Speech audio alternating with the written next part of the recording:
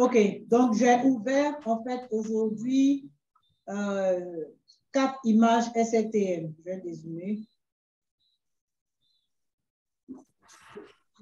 De la zone, qui sont censées donner en fait les valeurs d'altitude euh, de la zone. Donc, si je veux zoomer, en fait, je veux zoomer, en fait, pour que vous compreniez ce que ça représente. Euh, c'est des pixels à l'intérieur de chaque pixel, il y a des valeurs d'altitude qui représentent des valeurs d'altitude par rapport au niveau, au niveau de la mer, de la zone. Donc, je vais ce truc-là. Oui.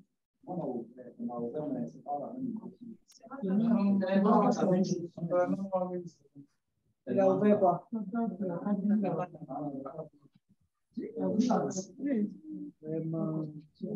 Donc, quand je prends par exemple, comme je vous ai dit là, pour avoir des informations sur on pouvait prendre l'identifiant qui est là. L'identifiant qui permet de, euh, on dit quoi, identité, identifier les identités. Donc, si je clique dans une zone, en fait, ça va me donner la valeur d'altitude ici, qui est ici, par exemple, 158 mètres. Euh, je vais dézoomer, aller dans une autre zone, généralement proche du niveau de la mer, on va voir que c'est... Dans le, dans le lit du cours par exemple, généralement, euh, les, les altitudes sont plus faibles, n'est-ce pas? C'est ça, non? C'est la logique, non? Donc, quand je vais venir ici, donc les zones qui sont plus noires sont censées être les zones de faible altitude. Je vais venir, vais quelque part ici. On est passé à 111, donc on était à 150 on est passé à 111. Et euh, donc les zones les plus claires, voilà. Donc ça, c'était juste pour vous montrer. Donc maintenant, le but, c'est de, on a ces, images-là, on les a en, je dire ça quoi, en morceaux quoi. Voilà. Chaque partie, je décoche qui représente la zone. Donc, je veux pouvoir les fusionner et euh, donc là, j'ai ouvert, je vous ai montré encore comment on ouvre. Maintenant, pouvoir les fusionner. Donc, comme j'ai mis dans le, dans le document, je montre toujours, dans le document, j'ai toujours mis deux petites méthodes. Donc, généralement, je fais une et puis après, vous vous entraînez, vous allez faire une autre. Donc, je vais prendre euh, dans la boîte à outils de traitement, par exemple, j'ai mis boîte à outils de traitement que certains n'avaient pas là. de faire l'autre après, comme vous allez me parler de traitement. OK, donc c'est pas grave. On va faire dans le truc raster, divers et fusion. On va, on va regarder. Pour ceux qui ont la version, généralement, quelquefois, quand je mets un entre parenthèse, ça veut dire que c'est le nom en anglais. Si vous avez une version anglaise, je mets en parenthèse ce que ça donne. Donc, par exemple, pour fusionner ça, des images raster, on va venir sur raster, divers et fusion. Donc, ça va fusionner les images. Si c'est en anglais, on les aurait écrit merge donc fusion. Ça va m'ouvrir une nouvelle fenêtre. Tout ça, j'ai bien développé dans le truc.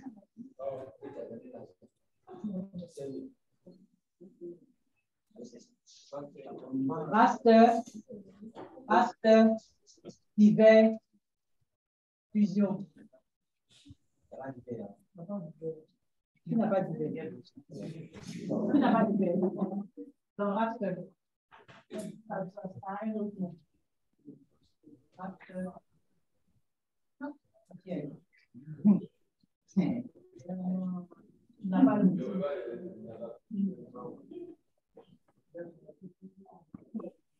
Vision.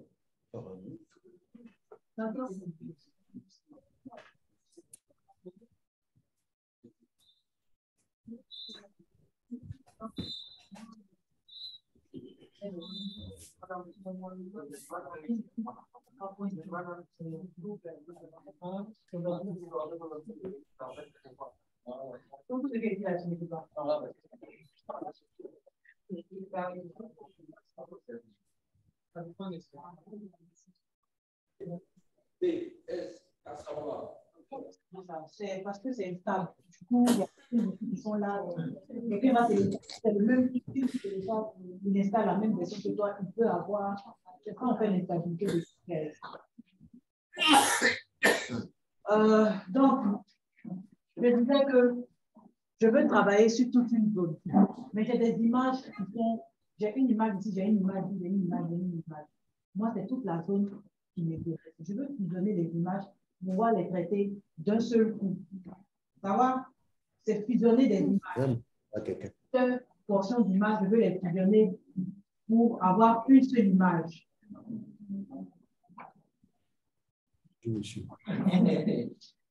Donc,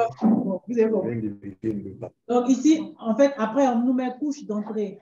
Donc, dans les couches d'entrée, le but, c'est de choisir les, les images données. Donc, je les sélectionne toutes. Euh, il a sélectionné tout ici. Hein. Ou bien si, par exemple, je ne voulais pas prendre tout, je voulais prendre peut-être que trois. Voilà, j'aurais sélectionné. Sinon, il y a l'outil, tout sélectionné. Il sélectionne ça pour moi. Et puis, OK. Euh, de sortie, qu'est-ce que j'ai mis ici? Il y a longtemps, j'ai monté. Hein.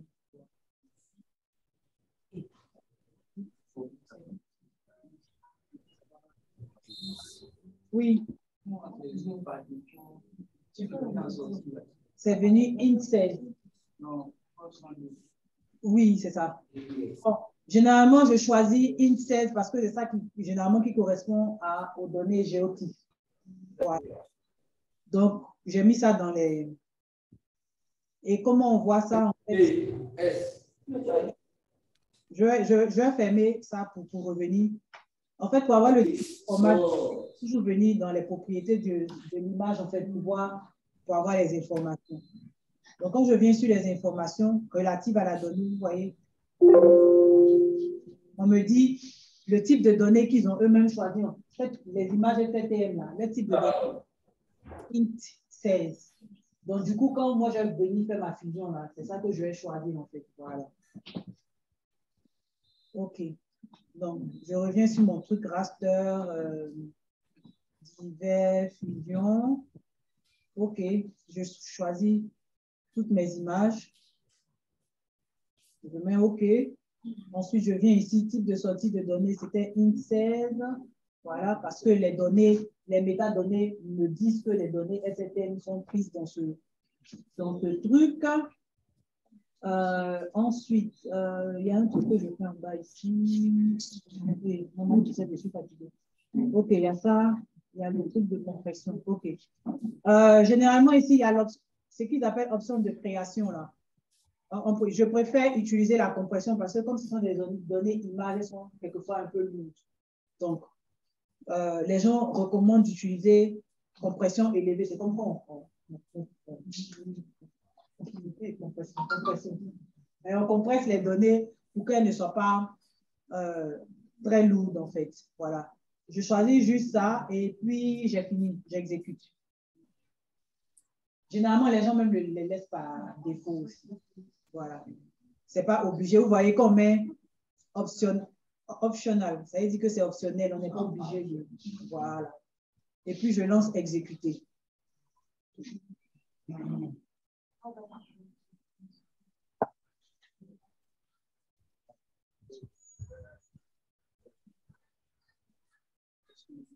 Donc voilà, euh, on dirait que mon truc n'a pas bien marché.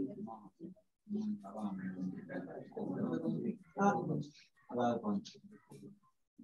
Je je décocher. Ça n'a pas tout pris. Ah bon, voilà. Hein. Non, ça fait, ça fait les deux là, ça a laissé les autres là. Vraiment. Divers sont pas chez qui? Non, chez toi, ça ne sortait pas. C'est divers sont pas chez qui?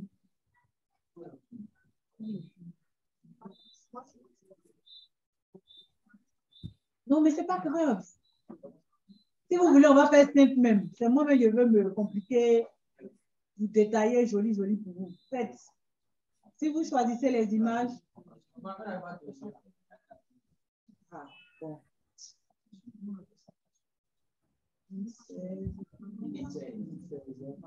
Parce que nos images, si je veux, je laisse la compression, on peut les optionnel et j'exécute. C'est très propre, non? Mais chez moi, la main, jusqu'à aller la main, ça ne prend pas encore. Tu vois, quand je vois, vous voyez ici, fusionner, c'est ça, fait de. Fusionner, regardez.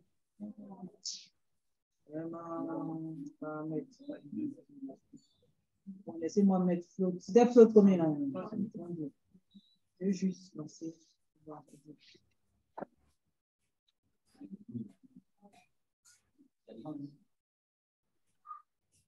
Bon. Le sort, ça change sur moi. Pouvoir marcher. Voilà, vous êtes des experts. Voilà, pour moi-même, j'ai fait la même, ça va pas marcher. Dis, quoi?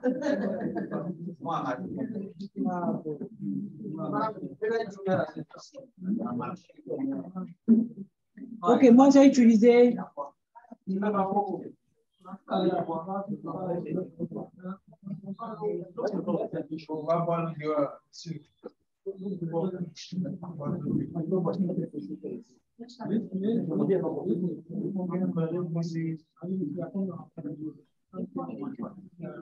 Moi, je réessaie un pouvoir. Non, ça ne marche toujours pas chez moi. Chez vous, ça marche pour vous qui êtes en ligne? Oui, oui, je pense que ça marchait. Hein. Ah, il pense que ça marche. Quand vous avez décoché, quand vous avez décoché tout ça, là, vous avez une seule image en un seul bloc. C'est ça? Pour vous qui êtes en ligne? C'est ça, non? Bon. Oui. Ça, faut faire. faut suivre. Ta va te montrer. Attendez, je pense avoir déjà fait ici ça quelque part. Je vais voir si je peux utiliser ça. Bonsoir.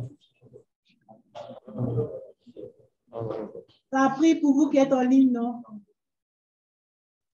Continuez au moins que c'est moi ce qui a des problèmes. Je cherche une image. Bon, il y a quelqu'un mis sur ma il va me donner. Vous voyez, c'est sur ça qu'on va continuer à travailler. Je fais répéter mes manipulations.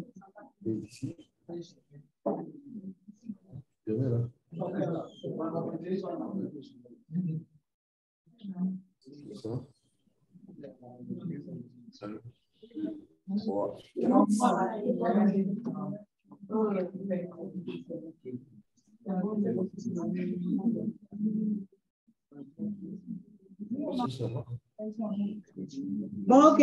Si ça marchait, on va évoluer. Désolé, pour moi, n'a pas marché. Donc, vous avez réussi à faire le mosaïquage. Donc, on est censé avoir comme ça une seule image. J'ai décoché sur mon truc, j'ai décoché tout ça et j'ai laissé que ça. Donc, j'ai ce bloc d'image-là. Notre mosaïquage a réussi.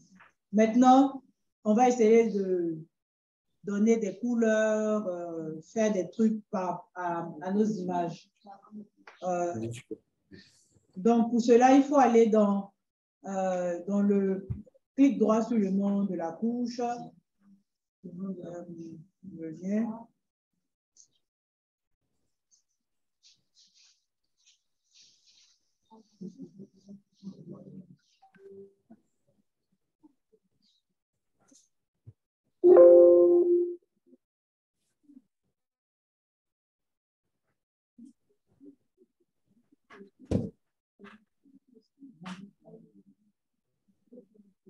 Bon, c'est pas grave. Moi, j'ai travaillé sur ce place.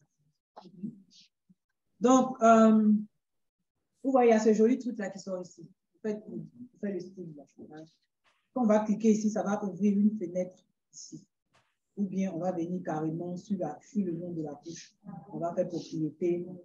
Et le même symbole là, c'est le même symbole qui est là en fait. Voilà. Là, il va nous ouvrir une fenêtre à part entière. Sinon, la fenêtre allait la fenêtre, si je clique ici, oh, ouais. c'est sorti à côté, sur le côté, non, voilà. Si je fais ça, la fenêtre va apparaître ici. Voilà, vous pouvez faire des manipulations ici. Moi, je préfère l'autre parce que là, c'est bien plus grand et on voit tout ce qu'on a envie de voir. Donc, clic droit, propriété, symbologie.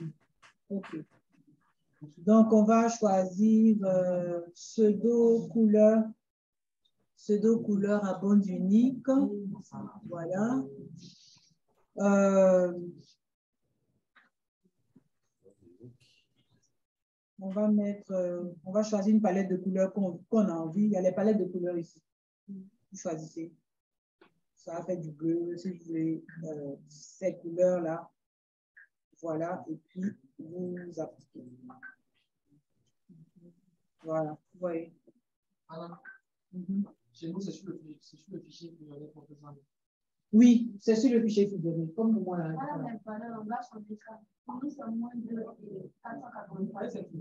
oui, c'est parce que c'est plus donné. Regarde, ici, en fait, voilà. Tu vois, c'est peut-être parce que je n'ai pas expliqué. Sinon, ici, sur la première image, la M04 Ouest 7, là, la, les attitudes vont de moins 4 jusqu'à 321. Voilà, donc fusionner tout ça, ça veut dire qu'à la fin, nos images vont aller de, la plus petite valeur, donc peut-être moins 4, ou bien moins 2, parce qu'on les, les a fusionnés. Du coup, on va prendre l'intervalle, le la valeur la plus basse, c'est 4, et puis la valeur la plus haute, pour montrer les variations.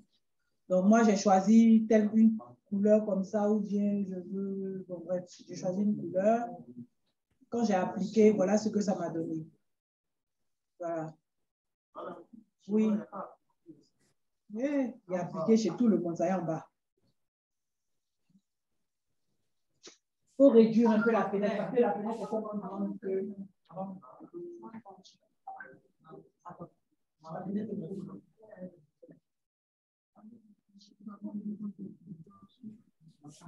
Oui.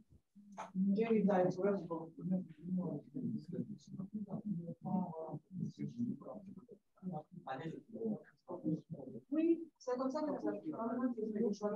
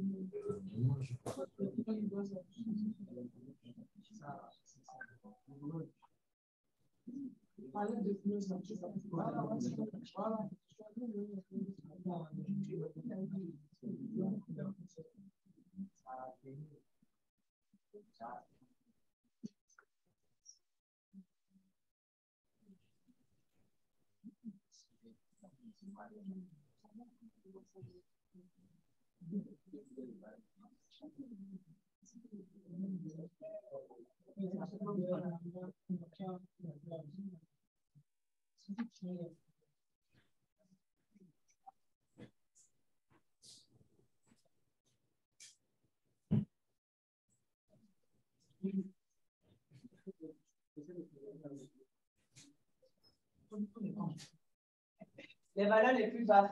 Et en fonction de l'échelle qu'on a choisie, en fait, regardez, du coup, les valeurs euh, les plus basses sont à, seront rouges dans la zone rouge et puis les valeurs les plus élevées. Voilà. Donc, je suppose que dans la zone, par exemple, si on vient cliquer, oui.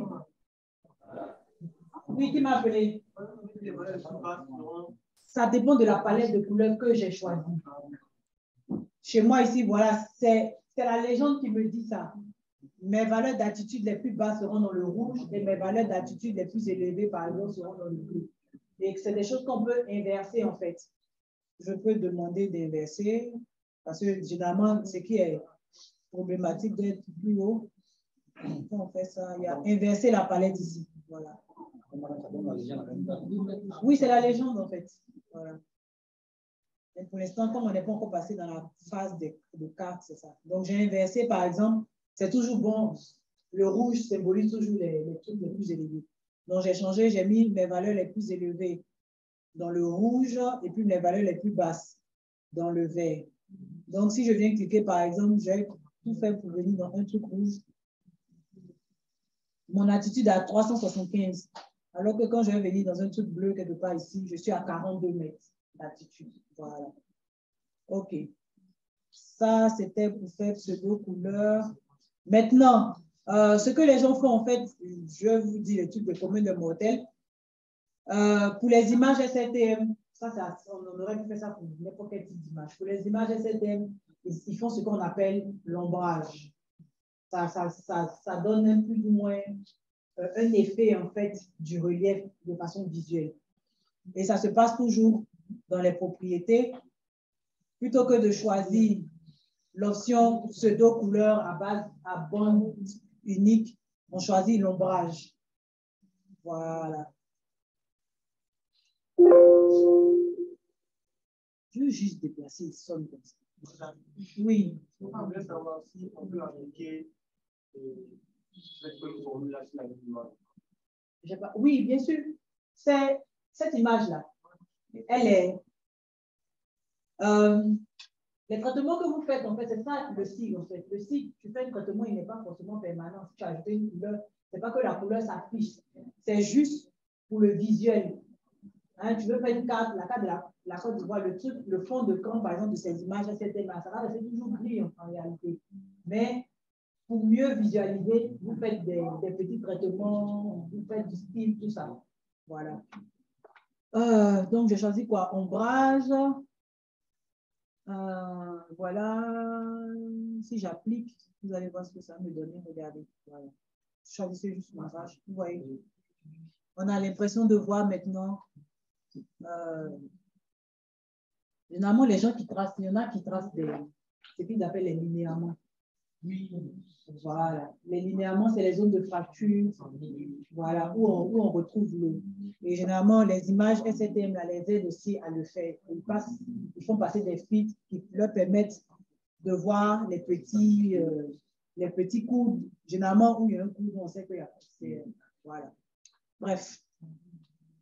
Euh,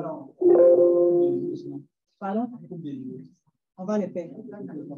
On va, on, va le faire. On va apprendre à le faire. Voilà. Donc, on a, on a, on a l'ombrage. J'ai mis, euh, mis ici, c'est une caractéristique qu'on peut faire entrer. Ça, c'est dans le document. Vous allez regarder, mais voilà. Euh, région de San Pedro. Ah, je ne vous ai pas donné un truc. Ça, je suis désolée.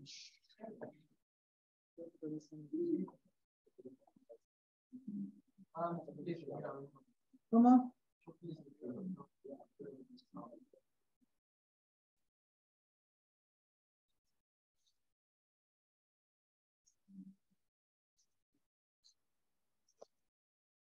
Donc, on a fini ça. Hein. ça, après, moi, je vous apprends juste les trucs et puis on passe.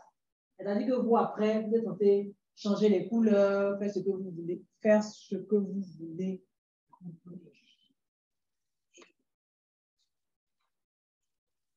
Donne-moi une petite clé. Donne-moi ta clé, petite.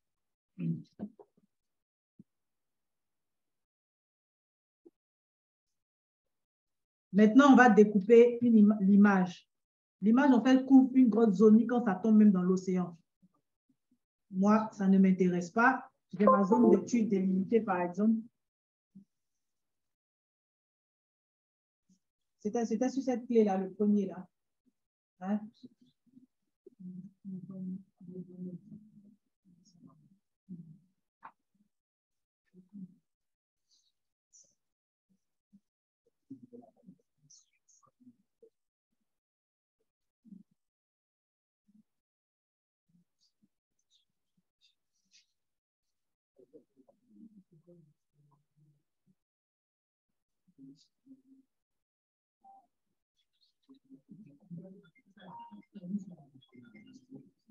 Pedro.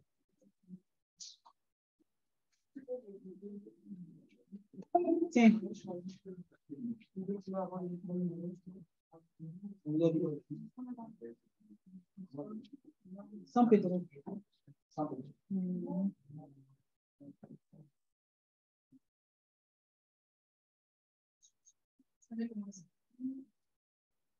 Mm.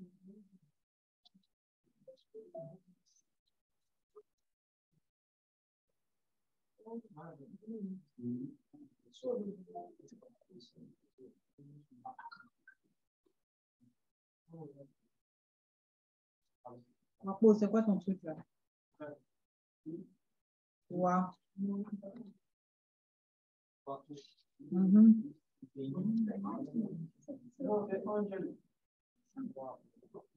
Angèle, uh-huh. Ça.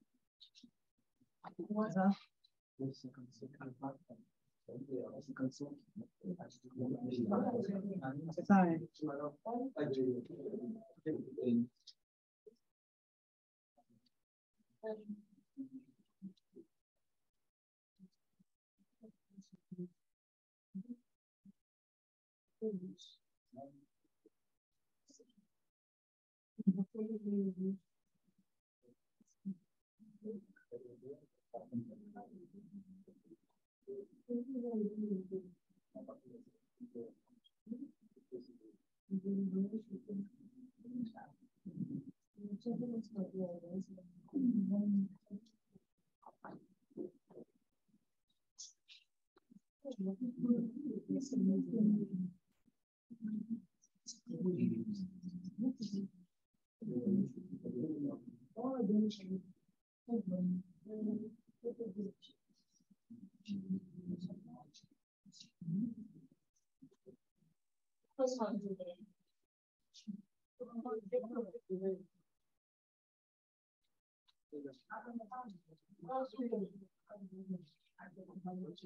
Donc, toi, tu ne reçois pas les emplois d'emploi.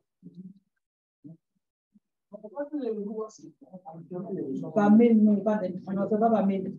Non, tu n'es pas dans ma mailing list. alors. Ah, mais vous répondez jamais bien reçu, je n'ai pas reçu. Normal.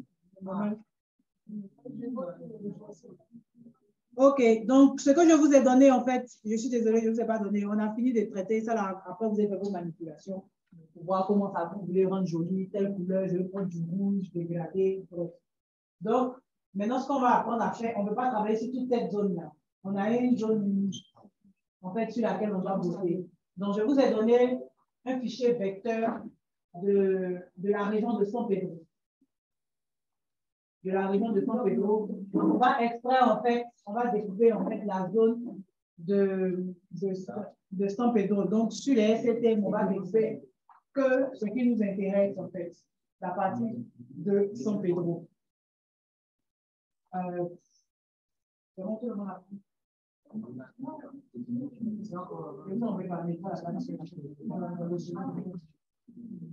comment tout le monde a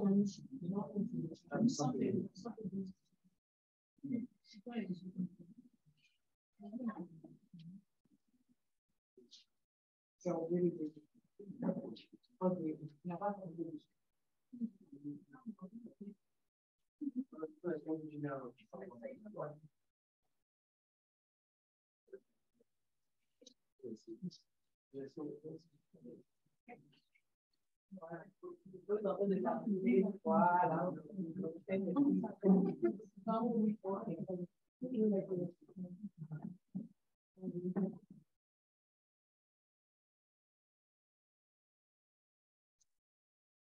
Donc, euh, du coup, on va ouvrir notre fichier euh, vecteur de San Pedro.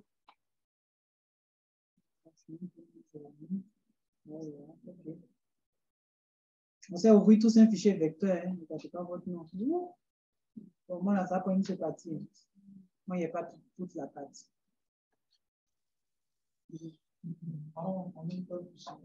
San Pedro. Je vais, vous mail. Donc, on va clipper, en fait, on dit clipper ou découper euh, la zone de San Pedro qui nous intéresse, et puis toutes les autres parties.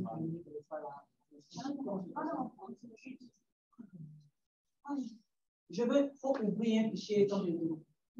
C'est un fichier vecteur, tu sais comment on fait, non? Alors, tu montres, on sélectionne tout San Pedro. Le, le premier projet, on le ferme? Non, non, non, le faites pas, c'est sur, c'est sur lui qu'on va travailler. Vous Ah, ouvrez, on, va, on va clipper en fait l'image, on va clipper la zone de San Pedro.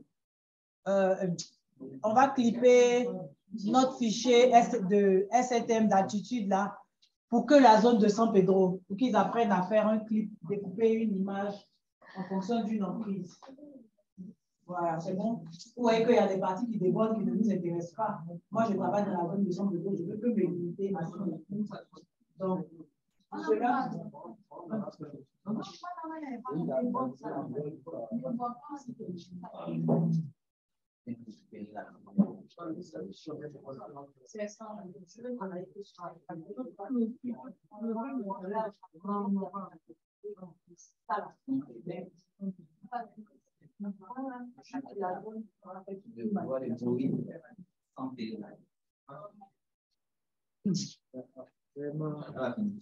C'est bon? Donc, pour cela, ce n'est pas très compliqué. On va toujours dans raster. Euh, raster extraction. Découper un raster selon une couche masse d'une emprise. One of them.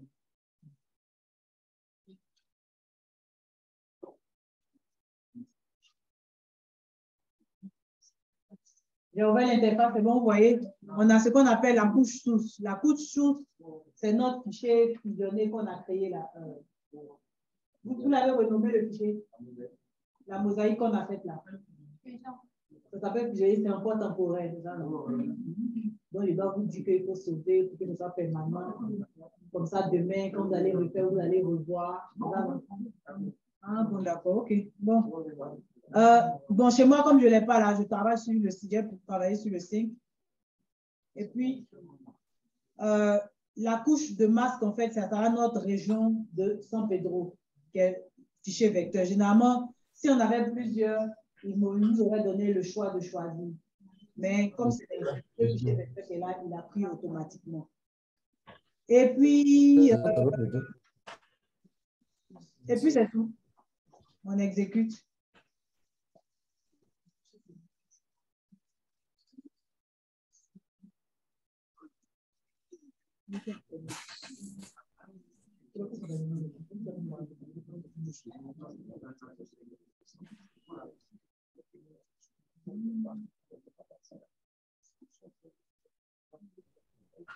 Donc, fermé. Donc, vous voyez, en fait, voilà. Bon, désolé, moi, j'ai que, moi, j'ai pas tout la, la, Donc, ça a découpé que la partie hein, qui couvrait San Pedro, là, voilà. C'est pas parti, c'est dit. Qu'est-ce qui n'est pas parti?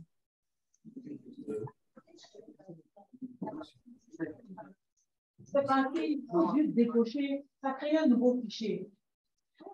Vraiment, moi, tu vas pas. Ah oui,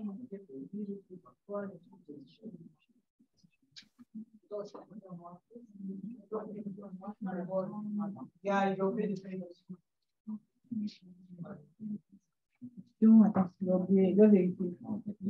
A le truc pour enlever les notes d'état. Là. Voilà. Affecter zéro à la valeur no d'état. En fait, comme moi, j'avais déjà fait ça une fois. J'ai oublié. Donc, vous allez refaire.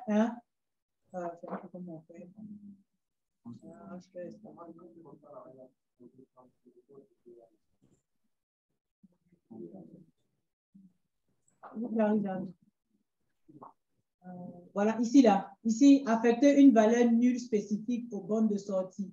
C'est-à-dire que les parties, les bornes noires qui ne nous intéressent pas, là, on va le dire, on, va, on dit au logiciel qu'il met ça en zéro. Zéro, zéro, zéro. Donc, du coup, on va refaire. Et vous n'aurez pas, en fait, refaites ça et vous n'aurez pas les bornes, le carré noir qui est, qui est autour, là. Ici, j'ai juste mis zéro, en fait. Zéro, quoi. Affecter une valeur nulle.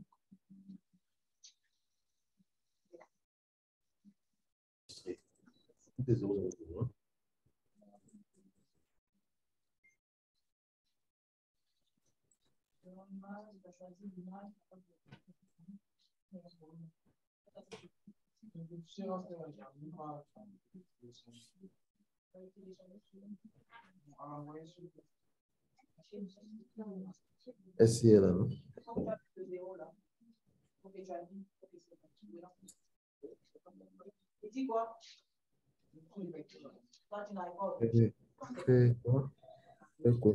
Et- et-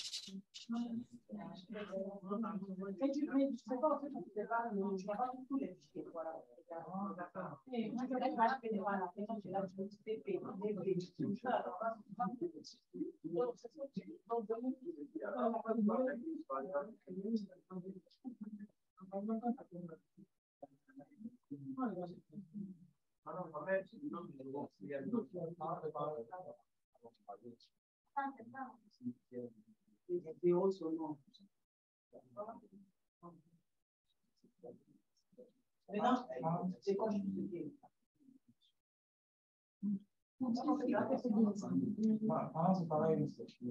Qu'est-ce qui est pareil Toi, tu ne sais pas ouvrir le fichier vecteur.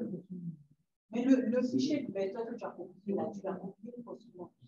On n'a pas pris toutes ces expressions. Donc, tu ne reconnais pas ton fichier. Tu as expliqué ça à la séance dernière. On va pas, si dès que tu as laissé un seul nom avec tu avais combien? 1, 2, 3, 4, 5. Toi, tu n'en as que 4. Oui, si vous êtes sélectionné, vous allez vous permettre de visualiser de ceux qui C'est bon, les, les bonnes C'est ça, les bonnes noires, en fait. Si tu veux mettre une valeur 0, déjà, Tout le monde a réussi à dire Non, je ne comprends pas mon enfant. Les gars en ligne, ça va, non? Vous, vous mettez euh, l'image. Oui, madame, ça va. J'ai entendu une voix de femme. Bonne arrivée. Merci, madame. Joli. Non, chic, chic. Ndishu, elle vient d'arriver.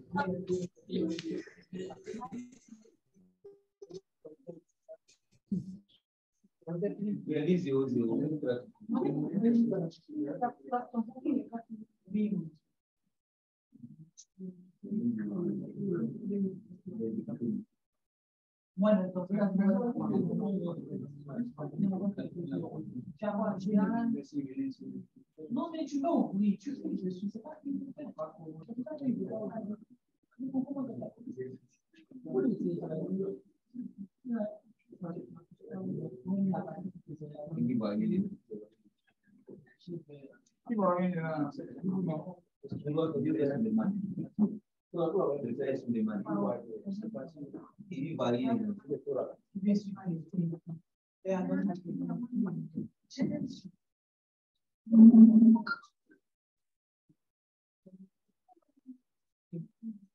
Donc c'est bon, vous découpez, vous avez découpé, non, ça, ça marchait ou pas?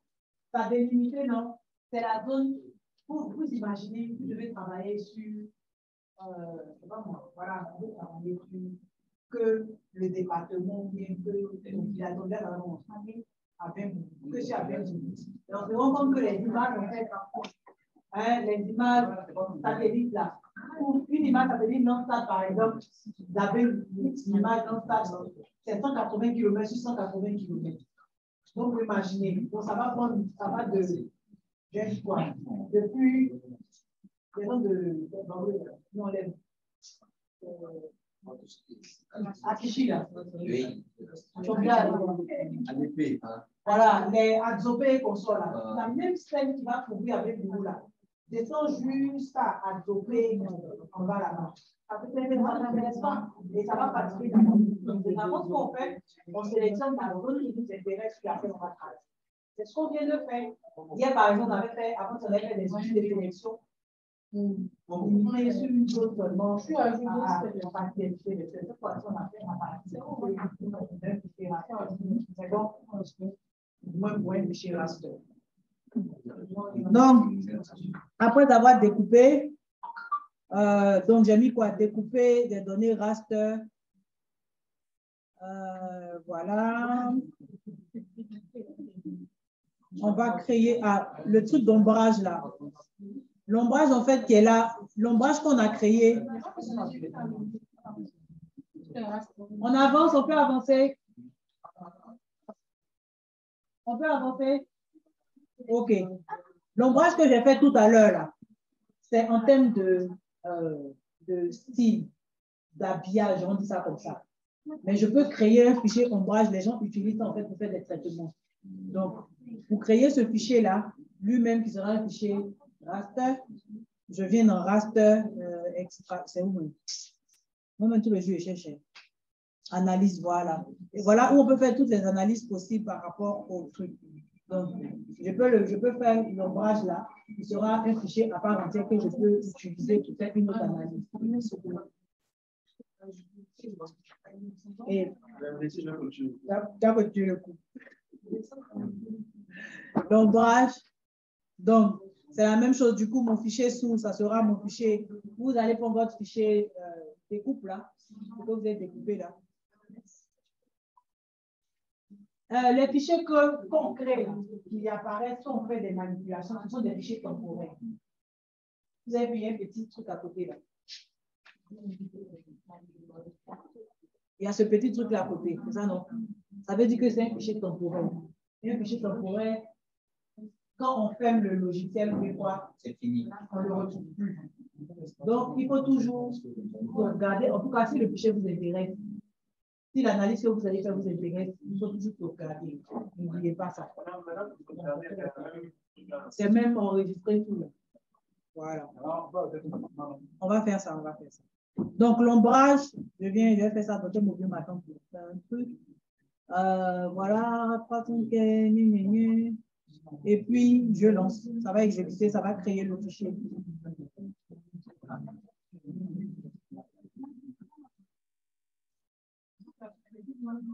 Donc, du coup, il a créé mon fichier d'ombrage, le voilà ici, pour ma zone découpée la voilà. Ouh là là, là, c'est encore, encore plus beau.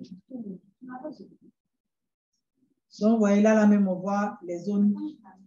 Hein, ça nous permet de mieux voir même les zones, à les altitudes. Là. Vous on sent quand même la. Merci pour le mot. Vous êtes tout ça? Et puis ici, la, la zone la plus basse, là, je, vais, je, je vais zoomer, c'est le fleuve. Il y a un truc qui passe ici, là. Vous voyez, ça, c'est un cours d'eau. Anna. C'est la Anna. Le cours d'eau Anna, c'est ça, c'est son nom, Anna. Alors, Mhm donc, on peut on va parler de- J'ai pas compris. Quand on va mettre des filtres, il va apparaître des couleurs. Non, pas ici. Oui, les, les cours d'eau, en fait, on les utilise, on, on utilise ça aussi, on utilise les données STM pour faire les cours d'eau. Ça, c'est une autre classe qu'on va faire. Comment extraire les données idéologiques, en fait. Du coup, ça nous donne le tracé de cours d'eau, ça nous ça classifie les, les cours d'eau. Dot 1, dans le cours d'eau majeur, et puis toutes les petits les cours d'eau toutes les ramifications, tout ça, voilà. Ça, c'est une autre étape encore. Aujourd'hui, là, on veut juste vous faire manipuler, on va faire comme si on veut faire quatre topos, en fait, jusqu'à. Voilà. Donc, on a fini ça, on a vu ça. Je veux me souvenir de ce que j'ai mis dans le fichier, comme ça, je ne rate pas. Après, c'est de faire les coupes de niveau dont tu parlais tout à l'heure. Sur les, sur les quatre topos que vous voyez là, vous voyez des coupes de niveau. Donc, vous savez ce que c'est qu'une coupe de niveau? Hein, c'est quoi une coupe de niveau? Ah, il a dit, hein? Deux. Ah. Non, il y avait un autre nom. Une coupe, une coupe de niveau, c'est une ligne imaginaire qui relie des points de, de même altitude. Mais si, là. Les jeunes, là, vraiment, le- c'est un vieux père qui a parlé. Il y a longtemps, il a fait ça. OK. Donc, on va, on, va, on va extraire les coupes de niveau hein, à partir de notre image SRTM. Donc, euh, extraction, coupe de niveau. Donc, on choisit notre coupe découpée là. Voilà. Et puis, là maintenant, intervalle entre les couches de niveau, c'est ce qu'on appelle comment en, topo l'équidistance. Si on veut une équidistance de 10 mètres, on met 10. Si on veut une équidistance de 20 mètres, on met 20. Si on veut une équidistance de 50 mètres, on met 50 mètres. Je vais mettre 20 mètres voir ce que ça va donner. Et on lui dit, ah ouais, c'est vrai, pas je ne vous avais pas montré la table attributaire. Euh, il va, il va, c'est c'est la valeur de la table attributaire élève qui veut dire élévation, qui va prendre en compte automatiquement. Et puis, c'est tout. Moi, j'ai mis 20 mètres. Quelqu'un peut essayer 10 mètres, une autre personne peut essayer 50 mètres. Bref, c'est vraiment euh, l'équidistance entre les types de qu'on veut et on exécute.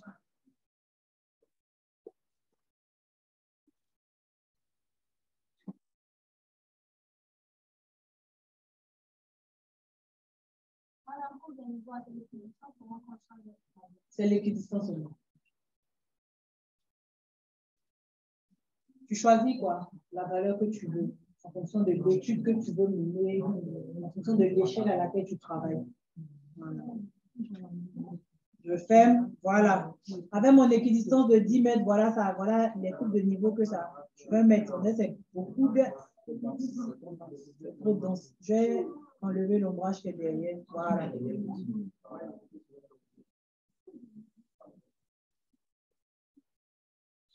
Donc, généralement, quand les coupes sont serrées, ça veut dire quoi? Voilà. Nous, nous avons une pente abrupte. Très bien. La pente est forte quand les coupes de niveau sont serrées. Et puis, les coupes de niveau concentriques, quand on a des coupes de niveau concentriques, ça nous montre les, les sommets ou bien les, les, non, non, sommets ou bien, comment un petit bas, avec. Ok. D'abord, vous avez pu faire votre coupe de niveau. Faites vos coupes de niveau.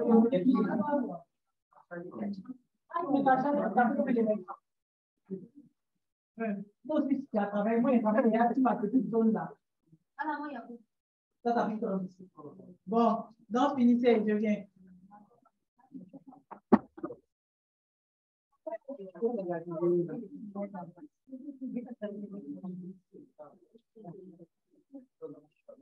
Ah,